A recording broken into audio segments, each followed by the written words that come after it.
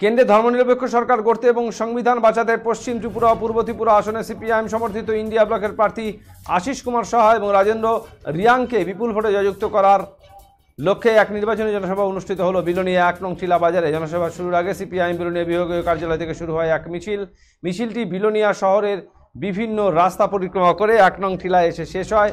সেখানে হয় নির্বাচনী সমাবেশ। সমাবেশে উপস্থিত ছিলেন রাজ্যের প্রাক্তন মুখ্যমন্ত্রী, সিপিআইএম পলিট ব্যুরোর সদস্য, মানিক সরকার, ইন্ডিয়া ব্লকের পশ্চিম ত্রিপুরা আসনের প্রার্থী আশিস কুমার সাহা, কংগ্রেস দলের বিধায়ক সুদীপ রায় বর্মন, সিপিআইএম দক্ষিণ জেলা সম্পাদক বাসুদেব মজুমদার প্রমুখ। ধর্ম নিরপেক্ষতার যে আদর্শকে ভিত্তি করে আমরা ভারতবর্ষের মানুষ ঐক্যবদ্ধ থাকবার চেষ্টা করছি সেই ধর্ম নিরপেক্ষতার পরিমণ্ডল থাকবে কিনা? বিজেপি থাকবে। আর যে বিষয়গুলো এখন উল্লেখ করলাম,